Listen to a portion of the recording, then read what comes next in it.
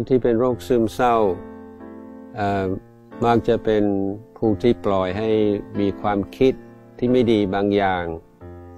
ตกร่อง จิตจะวกวนในความคิดเก่าๆ โดยเฉพาะความคิดในทางนี้ว่าเราไม่ดี เราทำอะไรไม่สำเร็จเราแย่เป็นต้น นั้นในเมื่อเมื่อจิตตกร่องอย่างนี้มักจะมีผล ให้ไม่ออกกำลังกาย ไม่ทานอาหารที่เป็นประโยชน์ต่อร่างกายและจิตใจก็มกมุนแต่เรื่องของตัวเอง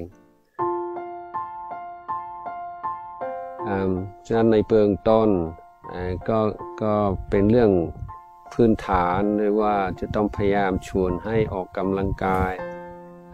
ออกจากห้องออกจากบ้าน เปลี่ยนสิ่งแวดล้อมถ้าอยู่ในกรุงในเมือง ก็ออกไปทางจังหวัดถ้าเป็นไปได้ อย่างน้อยให้มีการเปลี่ยนบรรยากาศบ้าง แต่ในในเบื้องต้นสิ่งที่จะได้ผลได้เร็วก็คือทาน การชวนให้ผู้ซึมเศร้าทำทานโดยเฉพาะการให้ทานที่เห็นผลได้ทันทีอย่างเช่นการเลี้ยงเด็กกำพร้าอะไรคือสิ่งที่เราทำไปแล้ว เราก็เห็นโอ้ทำให้คนอื่นมีความสุขได้ ก็ทำให้มีความเชื่อมั่นว่าตัวเองมีอะไรที่จะให้กับโลกได้เหมือนกันส่วนการภาวนาไม่ใช่ว่านั่งสมาธิจะเป็นวิธีแก้ปัญหาทุกทุกอย่าง การให้คนนั่งคนเดียวนั่งลับตานี่อาจจะไม่ดีสำหรับคนซึมเศร้า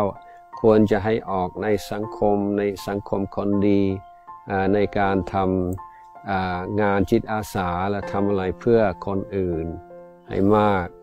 แล้วก็เจอคนที่ร่าเริงคนที่มีความความสุข อย่าไปอย่าไปคลุกคลีกับคนที่ซึมเศร้าด้วยกันอาจจะให้เจริญ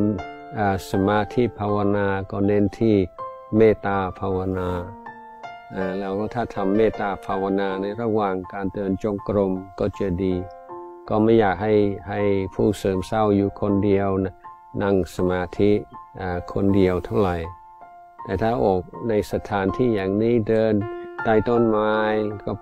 แพ้เมตตาทำเปลี่ยนจิตใจให้ดีขึ้นแต่การการออกกำลังกายนี้ จะแก้ได้เยอะเลย โดยยังไม่ต้องกล่าวถึงเรื่องจิตใจเท่าไหร่ ก็อยากให้ออกกำลังกายให้มาก